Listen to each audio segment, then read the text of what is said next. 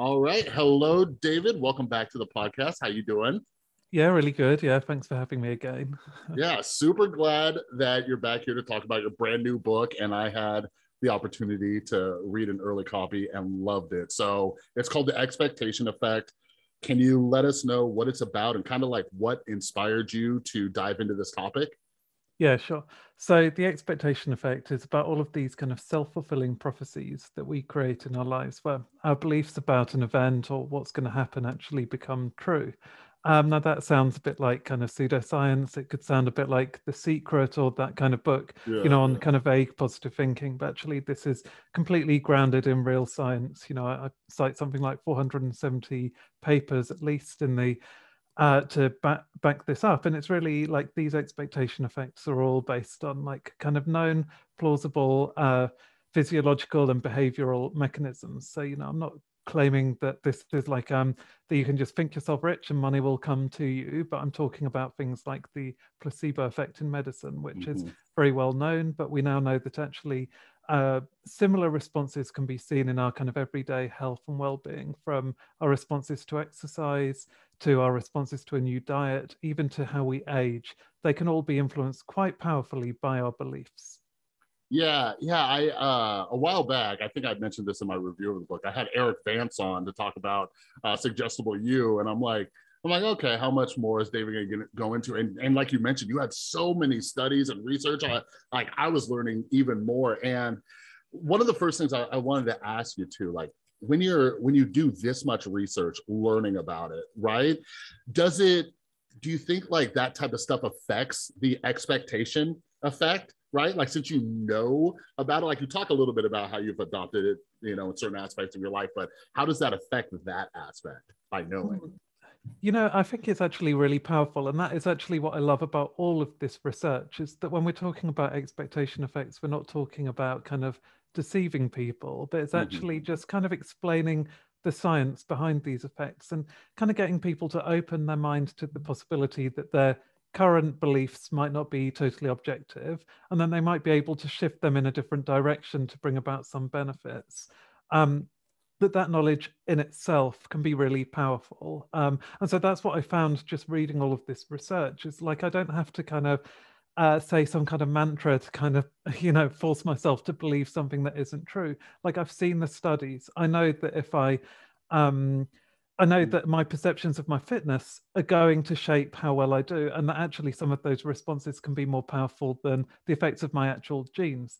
And then by knowing that, I can just kind of start to question some previous assumptions. So, for example, you know, in um, gym classes at school, I uh, you know, I found them quite difficult. Like I was very small for my age, all of that kind of thing. So I kind of had built up all of these underlying assumptions about my fitness. And then seeing this body of scientific research showing that those assumptions are actually shaping my fitness now, well, then I can just reappraise those assumptions and wonder if I could take a bit more of an objective view. And that in itself is then really powerful. So it's all about almost looking at ourselves and our abilities more like a scientist and trying to abandon assumptions and then try to reframe them in a way that could be potently useful. And so, yeah, I think that kind of understanding the science there actually kind of creates the ability to kind of change those beliefs.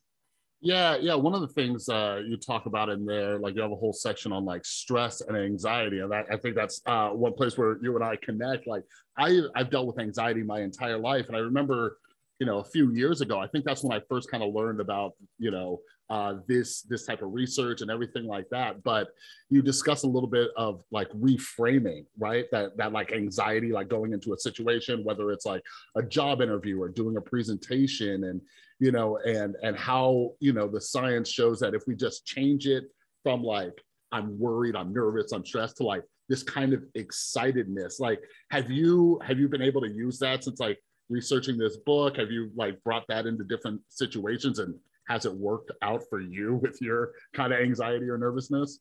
Yeah, all the time. I mean, I think the most obvious example for me would be in public speaking, which, mm. um, say, for my first book, like I managed to get through that without, you know, any problems. But like, I wouldn't say it was an easy experience. Um, but then I think researching this book, I kind of uh, came to realize that uh, like you said, that there uh, there are kind of two views of anxiety that you could have. So one is that it's kind of debilitating and that if you're feeling nervous that in itself is like a sign of weakness and you have to suppress that feeling mm. if you're going to perform well. And if you fail to suppress that feeling which is really likely then you're going to perform badly.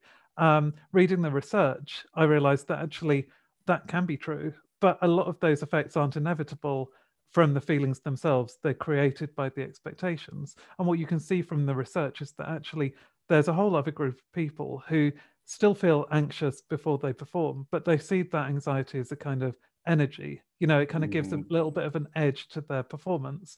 And um and that by viewing it like that, that in itself then becomes a self-fulfilling prophecy and they do perform better and they, you know, feel less they feel that anxiety is kind of less unpleasant. It's just a bit more, they're more comfortable in that anxiety. And mm-hmm. so I applied that. It didn't even take much effort because, like I said, once you've read the research, it kind of becomes a no brainer almost. And, um, and yeah, I found it really worked. And I, I think like also my experience really showed me something important about the expectation effect, which is like you don't expect miracles to emerge. Immediately mm-hmm. with this. It's like anything, you're kind of learning to think in a different way. So it helped yeah. a little bit in my first talk that I gave, and then helped a bit more in the next one. And over time, it kind of developed so that now I actually quite enjoy giving presentations. Um, mm-hmm. Um, but that didn't happen overnight. It was something that, you know, I had to practice.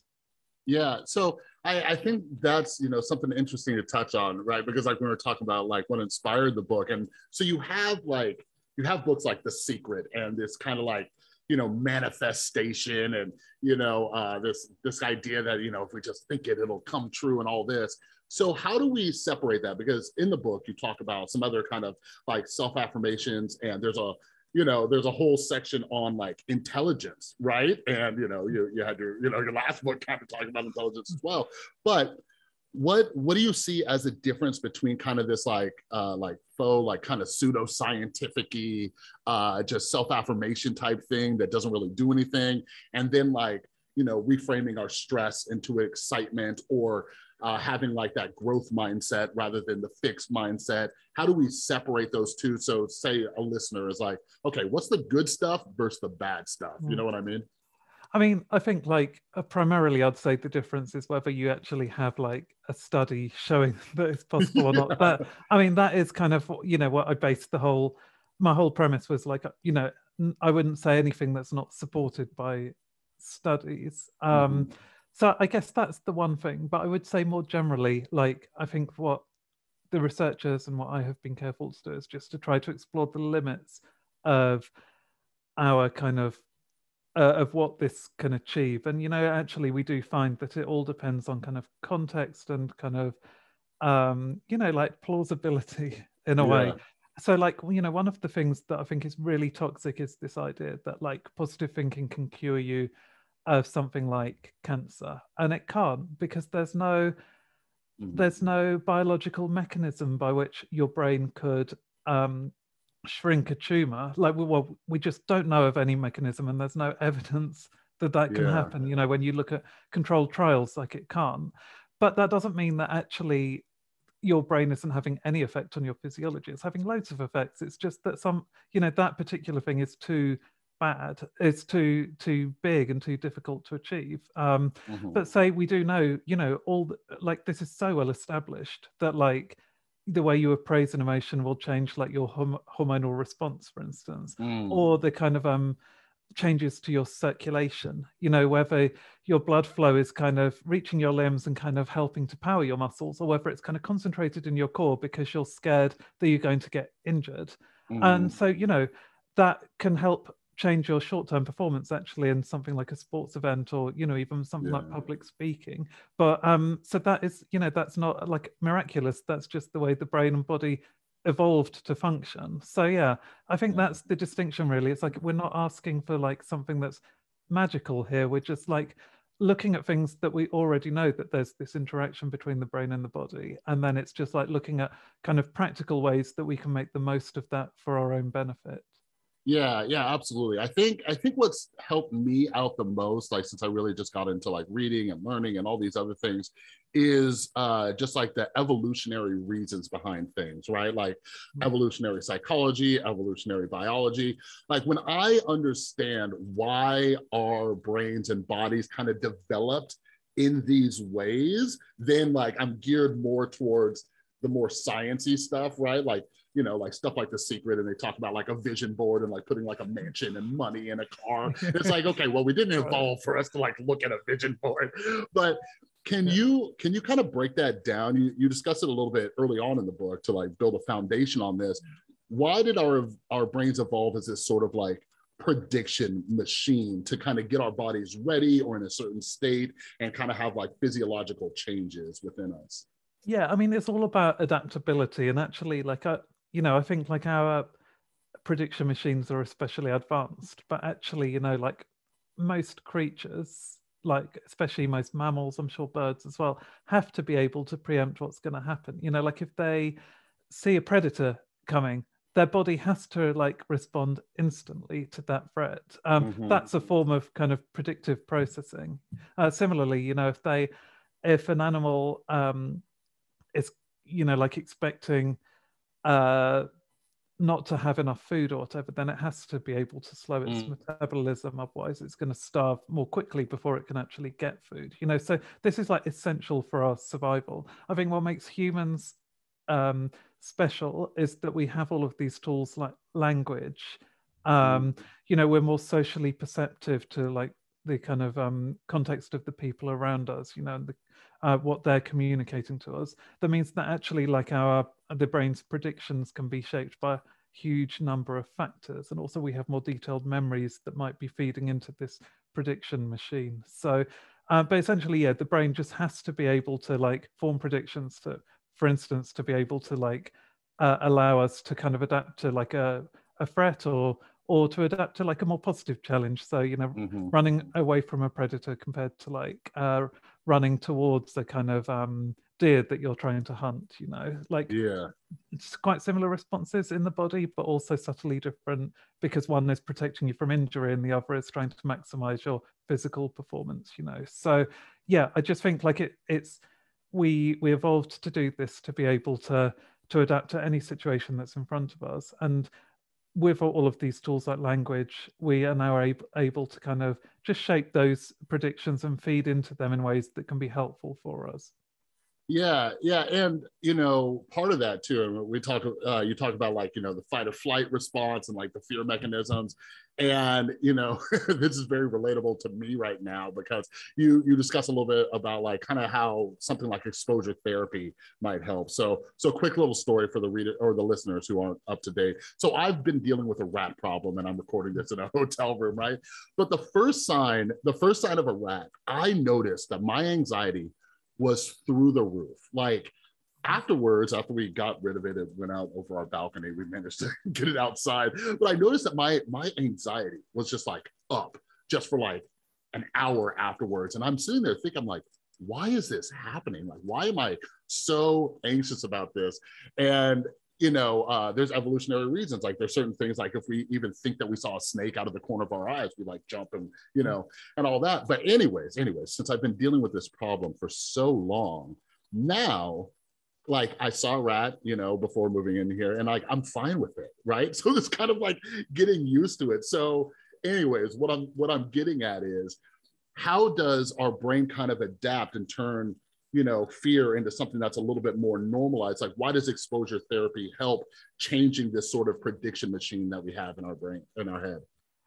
Yeah i mean i think it's like um so i think that that's another sign of ad- adaptability in a way because i think like you know we have all of these connotations of rats that like they're dangerous they're carrying i mean like i think they can actually be physically dangerous yeah know, yeah like, i'm not playing with it definitely. Yeah exactly but also you know that they carry disease so we have this kind of disgust response. But what exposure therapy is doing is over you know each time you see one and you emerge unscathed it's kind of just adapting that prediction machine recalibrating it. So you know that actually you still have to be cautious, but you don't have to be as scared as you would have been before. Maybe you don't have to pump so much adrenaline into your body because you know mm-hmm. that it's maybe not as bad as you saw. Um, in a way, that is just like um, a kind of exposure therapy is a very basic way of reframing the mm. feeling of threat that you had. And I guess then when we're talking about like uh, the benefits of reframing our stress, um, our views of stress or whatever, that's almost like even a more sophisticated way of doing that for situations that are maybe more less uh, kind of um how could i put it? Like you know like i think uh, the seeing a rat is quite you have got a primitive response to it. Yeah. But whereas like maybe talking public speaking is something that's more kind of um socially nuanced maybe. Mm. so yeah. So i guess that's they're all on a continuum but i think what each thing is doing each step that you take in either case it's just like recalibrating like the brain's predictions of what threat it's facing or what challenge it's facing mm-hmm. and what it can do to kind of adapt the body to respond in the best most efficient and most um, efficacious way possible yeah yeah for sure and yeah it's it's really been interesting um you know because i've i've tried to be very mindful of that that type of stuff. And just like for example public speaking was something terrible for you know for me as well. And i used to work at a rehab and you know they tossed me in there. They're like oh yeah by the way you're going to be doing groups in front of like anywhere from like 50 to 100 people. And i'm like wait what? Right? And at first it was terrible. And then i started getting used to it. I started getting excited for it and all that just as i started doing it more and more and more and i try to challenge myself and do new things and all that um but one thing I, I was really interested in uh, talking with you about, and we could spend the, the whole time talking about this, is medications, right? Like the placebo effect and all this. So something uh, that I I read about and started really diving into was the placebo effects and medications and specifically antidepressants. And then I started learning more and more about it, right? So, you know, with antidepressants, I started learning that, you know, with a lot of the studies they've been doing, it's hard to account for how much the medication's working versus the actual placebo effect, right? But you know, uh, as a recovering opioid addict, like I was addicted to pain medications, it's been really interesting learning about how pain medications and since our brain naturally creates certain chemicals that help alleviate pain like that can help as well. So there's a lot of like ethical questions around you know medications and do we do we tell people or do or do we not? And you touch on this a bit in the book. So can you kind of discuss that and what what they're researching as far as placebo effects and some of the ethical questions because there's like informed consent, right? Like how much does this medication actually work and all that and all that stuff. It's just really, it seems really tricky and nuanced for me. Yeah, no, it is. And I think like what you touch on is really important, which is the fact that in the past, like we associated placebos with deception. And it seemed like the only way we could benefit from the placebo effect was if we kind of fooled people into thinking they were receiving a real medication when they weren't. Um, but actually, like what the new and really cutting edge research is doing is showing that deception isn't necessary. Um, so one one thing that I find really promising is this idea of open label placebos. And mm. what the researchers did was that they uh, kind of gave people these. Um, well, first of all, they educated people about the mind body connection, and they told them things that have been proven scientifically, such mm. as the fact that when you receive a placebo pill, believing it's a pain medication, but that can cause the brain to produce its own endogenous painkillers. So you're yeah. actually having a physiological effect from your expectation. Mm-hmm. Um, and then they gave, so they told people about that, and then they gave people a jar of um, pills that were very clearly labeled placebo pills. Yeah. Um, so no deception there at all. Um, what they found was that actually just taking those placebo pills um, actually produced a clinically significant um, improvement in their pain. And what was amazing was that this didn't just last during the weeks of the trial, but then they followed up those patients five years later. And they found mm. that actually this understanding of the mind body connection was still improving their um, levels of pain five years later. It wasn't a short lived effect. Um, and so, what I think that shows us is that actually we we can create this kind of healing response ourself um, mm-hmm. by understanding the mind body connection. It's like, uh, I think, like uh, the ritual sometimes of taking a tablet is really important. um, even if it's a placebo mm. pill, because you Mm. feel like you're being cared for. And that might be one reason for it. But I think actually just having this positive expectation that your pain relief is controllable, that that could also be quite powerful in producing these benefits. And then subsequent studies have kind of asked, well, you know, it works with open label placebos, but can we just get rid of the pills altogether? Just by like talking to patients and explaining to them like how their expectations might heal recovery and getting them to set realistic but kind of optimistic um, expectations. Yeah. And they found that that was really powerful, even with people's recovery from kind of serious heart surgery, that they recovered more quickly. And they also showed kind of changes in their physiology, such as reduced um, levels of inflammatory cytokines as a result of mm. that intervention. So, I mean, it's really powerful. And I think this is how medicine needs to use the placebo effect now, not by kind of lying to patients, like that's not ethical, but yeah. just by actually helping to incorporate the expectation effect into each treatment. Yeah, it's you know it's interesting because something that I, I think about a lot, I write about, you know, on my Substack and everything is just the the American healthcare system. Because something that I've realized is, you know, and I think a lot of Americans do, is that this is just get people in, get people out, right? It's all just like boom, boom, boom, boom, boom, right? And I have been very fortunate to find a primary care doctor, um, like for the last probably had it for like five years, where she actually sits down and takes the time with me, right? Mm-hmm. Like I, whenever I'm like, you know, singing my doctor's praises, I, I always talk about how when I go there for an appointment, she's always late, but I'm never mad because I know that she's probably talking to people Mhm. at length the way she talks with me, and that's so beneficial. And kind of like with what you're you're talking about, with if we just explain it to people, right? And and reading books like yours is very helpful. I've I've realized that with myself. The more I understand about just the world in general has helped me in a variety of different ways, whether it's you know this stuff or psycho, uh, psychology, mental health, whatever it is. And one thing I loved about the book, and it's you know because I do a lot of advocacy work for you know uh, addiction and everything, is you talk about how placebos might actually be able to help with like the opioid crisis, and you touched on something there like this idea of just like being cared for and things like that. And when I first started learning about just the body responses and like dopamine and everything, it clicked for me. And you know, one of the things as a, as a drug addict, when I was in my addiction and I ran out of drugs, right? I'd call my dealer and he'd be like, "Oh, I'll be there in five minutes." He takes like two hours. But as soon as I knew he was getting close, boom, my body started to calm down, right? I started to get a little euphoria before I even took the damn thing, Mhm. right? So when it comes to pain management, the opioid epidemic, because you know a lot of this started in the United States with that direct to consumer marketing, saying like OxyContin isn't that addictive and all that. How do you see, you know, the placebo effect and pain management helping to decrease the amount of like addictive medications that we're giving to people? Yeah, I mean, there's a lot of promise here, and I've seen a few studies. I mentioned one of them in my book, but there have been, you know, it's moving so fast that there have been more, um, there have been published since that showed that actually open label placebos can help to wean people off of um, addictive kind of painkillers. Um, so what they did actually was a bit like the study I described previously. So they were, you know, open label. The participants knew exactly what they were taking, but they'd also boosted this effect by um by using this process called conditioning. So uh, what happened was for a few days at the start of the trial, the um, patients took their regular painkillers along with the open label placebo, along with um, a kind of, they just sniffed like a, a kind of um, swab of um, that like absorbed of I guess cotton wool that had absorbed like a strong scent of cardamom.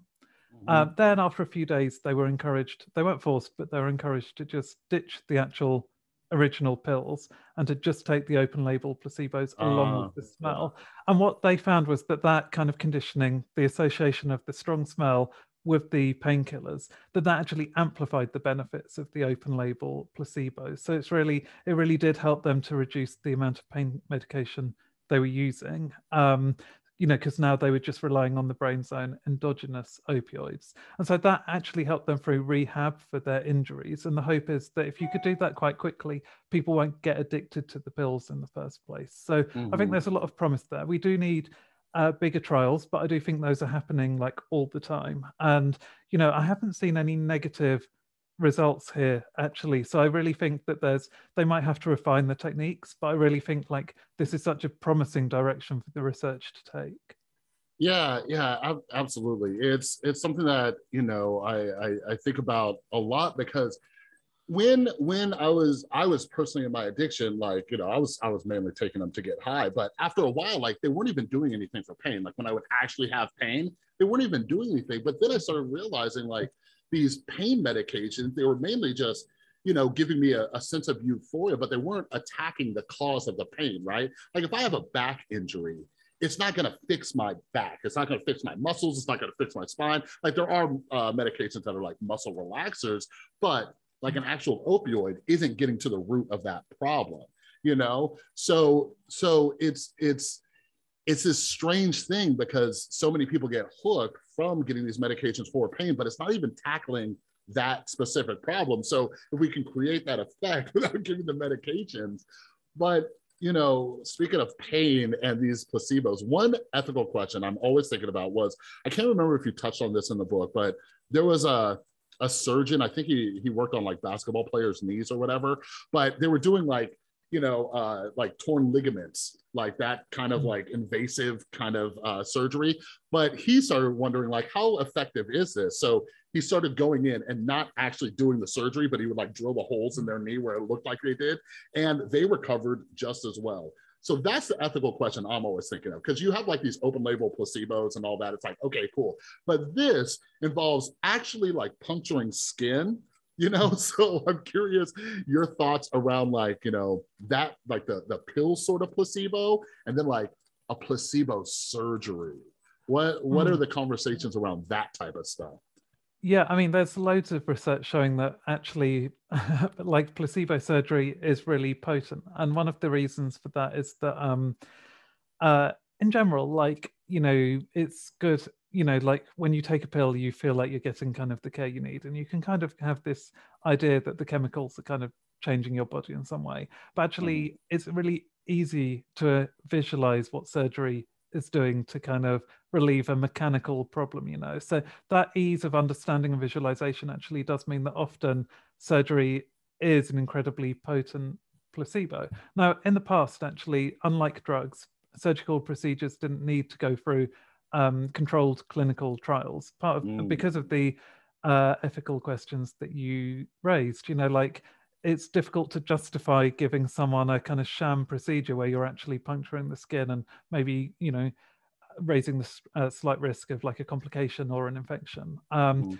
The problem, I, I actually now think that the evidence shows that that is unethical that to not have the placebo is unethical because what's happened is that we've now found that lots of surgical procedures probably don't have any benefits above yeah. and beyond the placebo effect um, and so we we're actually rather than just having a small clinical trial where you're trying to compare uh, the two to find the result what's actually happening now is that worldwide you know millions of people are un- undergoing surgery that isn't really having any direct um, physical benefit to them that it's all coming from a placebo effect. Um, and you know, one of the most controversial, but um, I think it is a solid result, though we do need more research, is that actually the um, uh, installing stents to relieve angina. Mm. Now it seems that um, it, most, if not all, of the pain relief that people get from that and the benefits for their kind of exercise and lifestyle comes from a placebo effect, not from the surgery itself. And, you know, that is such a common procedure. So, you know, I really think actually this is something that needs to be explored in detail with like really rigorous research to make sure that people aren't undergoing surgery um, unnecessarily, because there are other ways then, rather than undergoing surgery, that um, doctors could try to like use an expectation effect to achieve the same results. Yeah yeah, it, it's interesting. I, I just started a, a, new book. I think it's called For the Common Good. It's more of an academic book. I think it was like released through Oxford University Press or whatever. But it's all about these ethical questions around like uh, medicine, right? And as I'm reading it, I'm thinking about you know the COVID vaccines and all that kind of stuff mm. because you you talk about like the nocebo effect and maybe that'd be that'd be interesting to touch on right so we have a lot of people who don't want to get the vaccine and you have people talking about you know these side effects these spooky side effects there's been stuff i don't know if you ever saw this like on tiktok there were like people were like oh look i'm having like a seizure after i got it and everything but the nocebo effect does the exact opposite. And you have a whole section on like mass hysteria and all that kind of stuff. So with, you know, specifically to like the COVID vaccine and the people who are, you know, anti-vax or vaccine hesitant, do do you do you see the nocebo effect like taking place? How does that happen? Uh, how does you know just thinking about it and how our, our inner circles are talking about these types mm-hmm. of things how's that affecting us physiologically and could that be making worse outcomes that then make people like more afraid to get things that could be helpful yeah.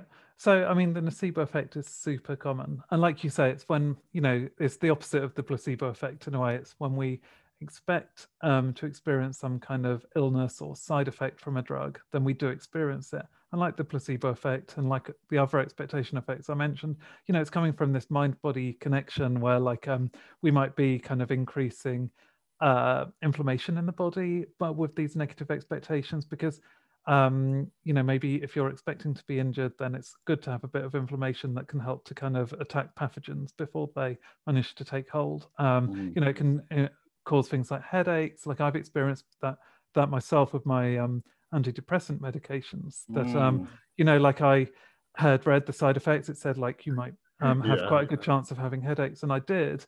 Um, they were really bad migraines, and then just as a coincidence, I was reading a paper on the nocebo effect, and you know specifically about antidepressants, and I kind of saw that this was coming from ex- my expectations, and that realization kind of cured me of the headaches. But you know, mm. I know that those headaches were like totally real. They're not imagined symptoms. Like the pain was just as real as anything else I've experienced. And and we now actually know from the studies that that's caused by the release of different chemicals in the brain that can change the dilation of your blood vessels, just like a normal headache. It's just mm-hmm. the cause is the root cause of what's um, leading to those changes is your expectations rather than say the actual chemical effects but yeah so they're really common you know i've had them myself this isn't something that we should ever like dismiss as just not being a real kind of sickness because like the symptoms are real it's just the cause mm. is like psychogenic um uh but I, I think like in terms of the covid vaccines actually um if you compare the kind of two arms of the trial, so the placebo arm and the people receiving the active vaccines, what you find is that there is a higher rate of side effects in the people receiving the active vaccines. So there is something there. You know, when the vaccine is stimulating the immune system, it can cause you to get fever, to get headaches, to feel fatigue, like mm-hmm. no question about that. But you do also see a lower rate, but still really significant, about 20% of patients in the placebo arm also experience um, those side effects too. So I think I think the figures are roughly 20% compared to 40%. So half of the people uh, reporting side effects like headaches or fatigue, you know, like they may be caused by their expectations. And I do think that possibly, like our discussion of these in the on social media, you know, like it's been really common for people to be tweeting about how wiped out they are by their uh, side effects, you know, that could over time kind of amplify the likelihood because if you know that everyone else is experiencing this, you're more likely to experience it too. Yeah, yeah, it's it's really interesting because now that we're talking about it, like uh, I was, you know, I was fortunate enough to be in in some of the uh, the early groups of getting the vaccine um, here in the states. So when I first got it, there wasn't really much stuff out there about side effects, right? Like when I got it, I like the first dose, like my arm was like sore the next day. Like that was it. Second dose, absolutely nothing. Still need to go get my booster and all that. But there wasn't anybody talking about it because I was really early on. So that's kind of interesting to think about because I'm wondering like if that affected anything. But you know, one of the last things I want to ask about this kind of nocebo and all that is we live in a time where way too many people go to like WebMD and like look up stuff, right? But you can also look up medications. Like I, I personally have to look up medications before I take anything because I got to make sure it doesn't have any kind of like narcotics or anything like that in it. But like if you had a if you had a friend, right? If you had a friend and you know all about the expectation effect because you've been researching this book, like well, how much would you tell them to like look into this stuff, right? Because we want to be informed about what we're putting in our body, but it also might cause like you were talking about like getting a migraine you know and while kind of reading about the side effects and everything like that. So should people be doing these deep dives into all the terrible things that might happen from taking a medication? Or should they kind of only look into it a little and not go like down some crazy rabbit hole Mm, yeah, I mean, so doctors actually do, they're kind of developing some procedures where, like, you know, even in your consultation, um, that they can be like, uh, they can give you the option. They'll be like, do you want to know about the side effects mm. or do you not? I think they always have to tell you about the really rare but um, or serious, potentially serious side effects. Like you have to know about some risks, you know, mm-hmm. because you have to know the warning signs to look out for, and there's no way around that. But I do think with stuff like headaches, which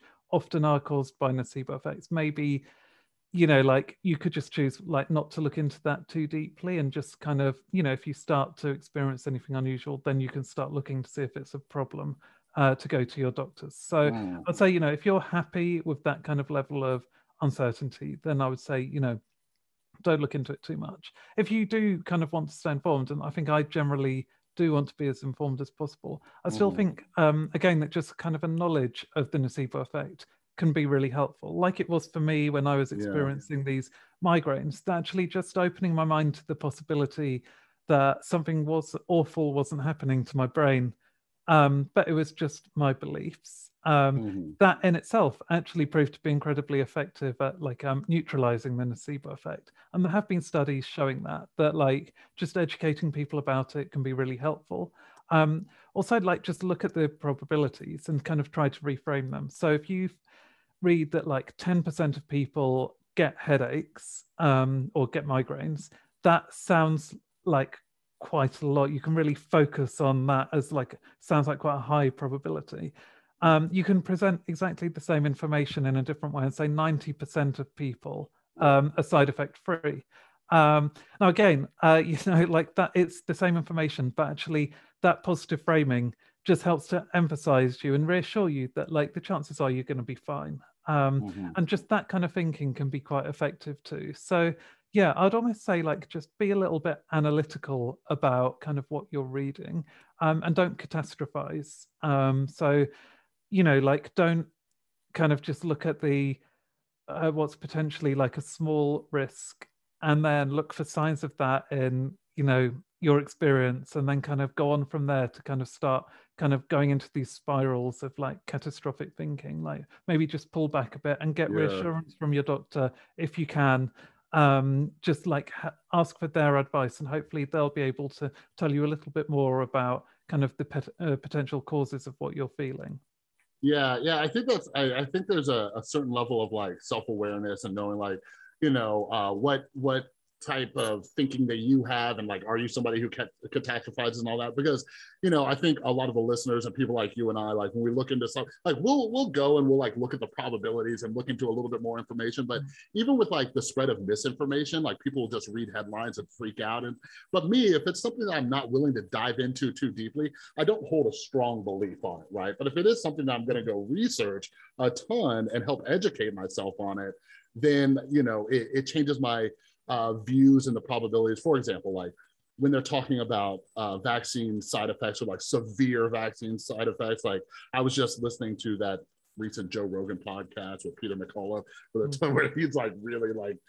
all over the place with that stuff and talking about it. But you know, I was like, okay, well, let me do some additional research on this stuff, and uh, and even still with vaccine severe side effects or potential like fatal things, it's like one out of like hundreds of thousands or millions of people, you know? Mm-hmm. And I'm willing to look into that, be like, how afraid or worried should I be of this? And if the probability is extremely low, then I try to flip it like you're saying and look at the opposite side of that. But one thing I, I did want to make sure that we were able to touch on because I listened, I, I was listening to the book because even though you sent me a PDF copy, I, I have this app that changes it to audio. Mm. I was listening on my morning walk. So you talk about food, you talk about exercise, and that's where I was like, oh man, there's so much new great stuff that I've never even heard of. So one thing, one thing that I thought was absolutely insane was I've heard of that dude that you talk about, like uh, what's his name, Molaison, where he had like amnesia, uh, amnesia, where he can only remember like mm. for like a very small amount of time, but he was like perpetually like able to eat or not eat and all that. So, anyways, I'm explaining that terribly. Can you talk about how like I've been doing the trick that you mentioned, like remembering what I ate to kind mm-hmm. of lower my hunger and my appetite. So can you, can you kind of talk about how our memory affects our appetite and that research? Yeah, sure. So I mean, I still feel like this is very much an expectation effect, even if it doesn't immediately sound like it, and I'll explain why. But yeah, so the first signs that like our brain is kind of influencing our feelings of hunger quite significantly came from this amnesic patient who's he's um, Henry Molaison or HM in the literature. Um, and you know, so he suffered from this form of amnesia where he couldn't form new memories. So he could remember bits and pieces of his past, but um, he couldn't like uh, minute to minute he couldn't remember anything that was you know that just happened to him. It's like you know um, he was stuck in the researchers say like a permanent present tense um, from when he had his operation to um, to the day he died. Like there were no new experiences, kind of uh, being stored in his brain. And you know, this included his meals. And what they found was that, um, well, what they kind of were asking was like, does our stomach, and we have sensors in our stomach that can kind of tell us if the muscles are being stretched, you know, if the lining is being stretched, that can kind of roughly tell us if we've got food in our stomach or not. But how powerful is that in actually shaping our appetite? And HM's experience uh, suggested like it's not very powerful at all and that a lot of our appetite comes from our memories of when we've eaten and our expectations of hunger. Because what they found was they um, they gave him a meal, um, he ate it, then they took the plate away and they gave him another meal. And you know, if he was like had this feeling uh, coming from his belly that he was full, uh, he just wouldn't have really eaten it. Like, you know, he would have been like, I don't know why, but I feel really full. I'm going to go now. But he ate mm-hmm. it. And then they took that plate away and they gave him a third. And he was about to kind of tuck into that too. Uh, but the researchers decided like three meals and one hour was maybe a bit much. So they kind of took it away and didn't let him have have all of that plate too. But um, yeah, so that really showed that actually like uh, our brains, like there's a huge cognitive influence in interpreting the signals from our stomach and forming this kind of feeling of appetite. Um, mm-hmm.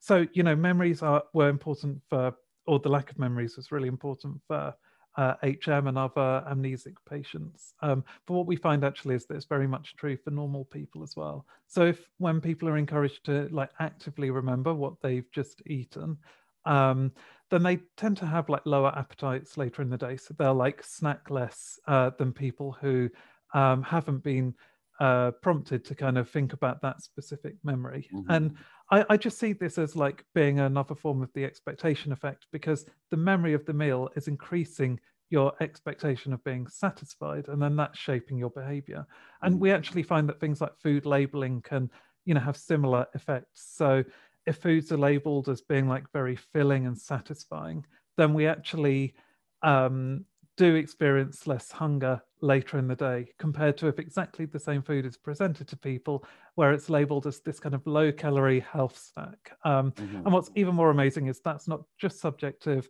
but it actually then seems to have this knock-on effect to uh, people's hormonal response and kind of how quickly the food passes through their gut. If you if you don't think you've eaten very much, the food actually just passes through you much more quickly, and that in itself is then going to shape your kind of feelings of hunger a little bit. So mm-hmm. you know, it's mind body again. Um, and it, it actually shows that you know our expectations are super important in maintaining a healthy weight.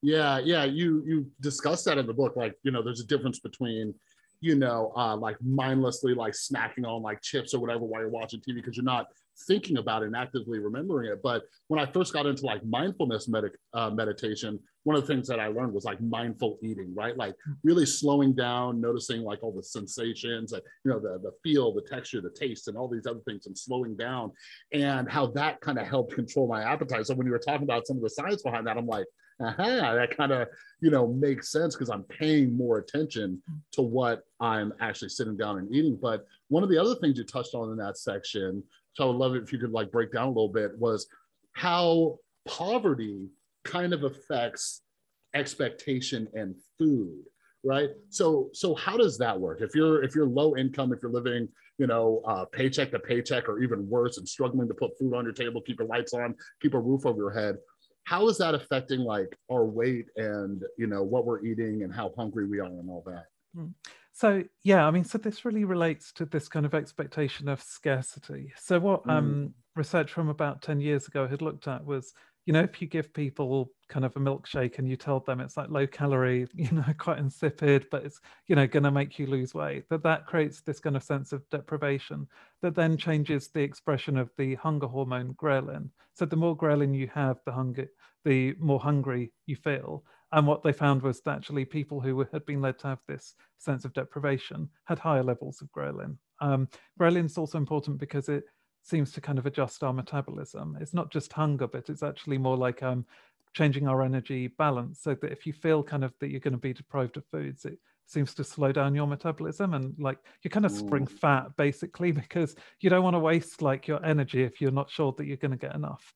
Um, now, what later researchers did in um, a study in Korea was that they actually tried to manipulate people's sense of their kind of social status within the society. So they, um, I can't remember exactly how they manipulated this, but they kind of made people feel like they were lower. They occupied a lower rung on a kind of the social ladder and mm-hmm. got them to kind of really uh, like ruminate on that fact and like the consequences it was going to have for them and their prospects and their kind of wealth later on.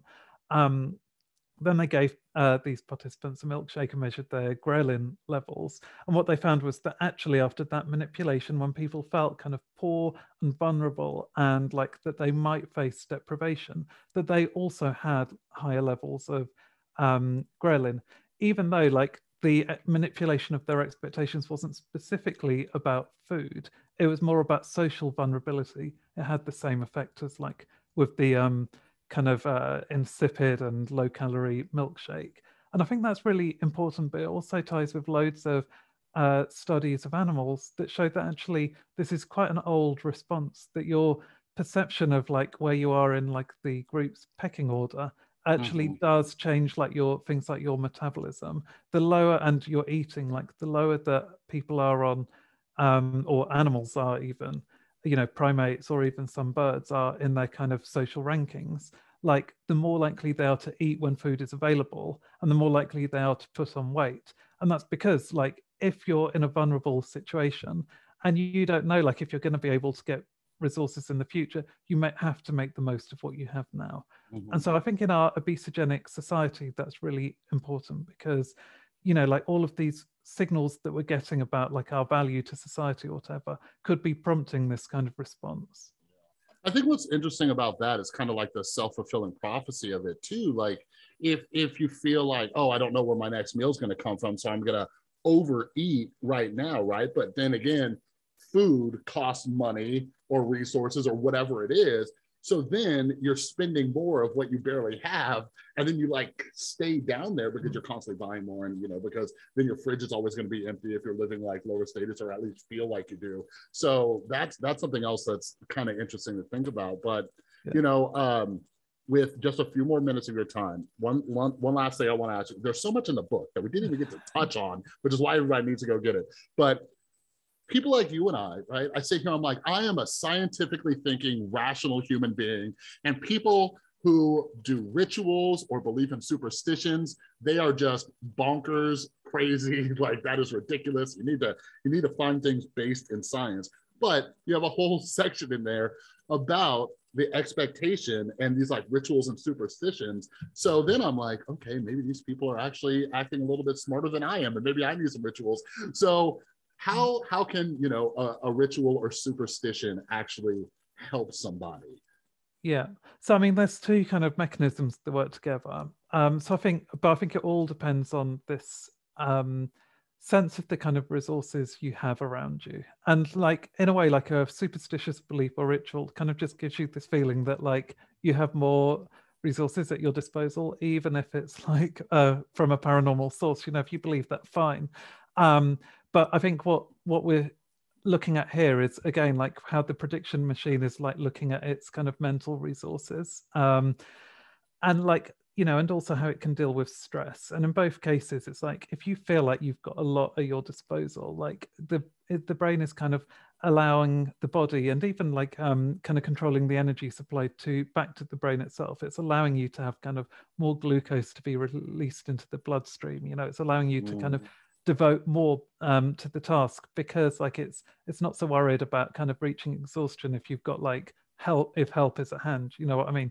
Um so like uh so these these superstitions are kind of just helping you to feel a bit more prepared. They're kind of increasing your sense of discipline. They're increasing the kind of uh, flow of glucose within your blood. They're doing all of this good stuff and they're helping you to reappraise your stress as well. Because mm-hmm. what might have seemed threatening if you've got like a kind of magic spell behind you is actually like not so threatening. It's more of a kind of positive challenge that you feel that you can achieve. And so that actually then increases and improves performance in all kinds of fields. So on cognitive tests, but also on, um, you know, sports like a basketball.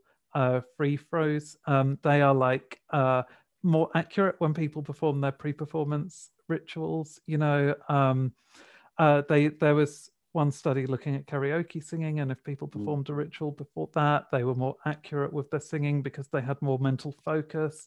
You know, like all powerful changes across the board. Um, now, what I love about this research is that it's like what they've actually found is that a bit like the open label placebo is like you don't have to kind of believe in something that's not true for rituals to have an effect. Yeah, um, yeah. It's almost like just knowing that something is a ritual um, kind of just gives you the sense that you've got kind of more resources at your disposal. Um, so with the karaoke study, for example, you know, they perform this crazy ritual that no one really believes is like um, it's going to produce any kind of magic effect. It was like draw a picture of yourself, sprinkle salt on that picture, screw yeah. it up, throw it in the trash, and then sing.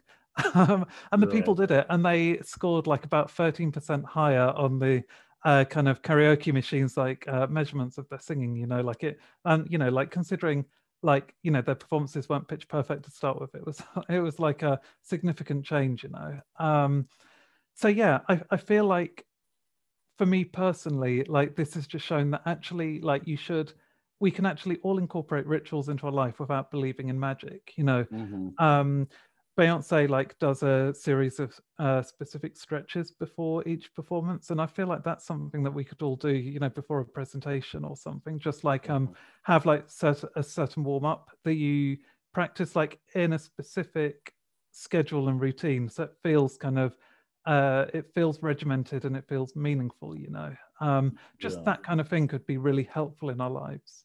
Yeah, yeah, it, it, makes me think. There's so many because uh, I read a lot of books on like debunking like bad science, and I was thinking about like the power pose thing, where that like uh, I forgot what her name was. Mm. She got really famous off of you know the power pose makes you more confident. I'm like, well, based on what I know about the expectation effect and stuff, it seems like hey, maybe doing that before you go and present uh, do a present uh, uh, presentation, it'll make you more confident, and you go out there and you, yeah. you know you do your thing. So yeah, some of these rituals could definitely help. And, and yeah, David, like I said, there's so much in this book. I absolutely loved it. So for uh, we're recording this uh, mid December. So for everybody who wants to get their hands on this book, there's two separate release dates, one in the UK, one in the US. Can you let everybody know when the expectation effect is coming out? Yeah. So if you're in the UK or Australia or any kind of Commonwealth country, then it's coming out in on the 6th of January 2022. Um, if you're in the US or Canada, it's coming out on the 15th of February 2022. And will it be available in audio format as well for all my audio listeners out there? Or is that mm. going to be later down the line? Uh, no, it should be. Uh, I think that's already recorded. Yeah. Nice. Very cool. And and for everybody who wants to follow you, because you also, you know, you publish articles and things like that, where's the best place to find you? Uh, yeah, so my website is um, davidrobson.me, and that's regularly updated with my kind of portfolio, um, but also on Twitter, d underscore a underscore Robson. Beautiful. Awesome, David. It was a pleasure having you on again. And yeah, I, I hope this book gets as much love and praise as it deserves. Uh, thank you.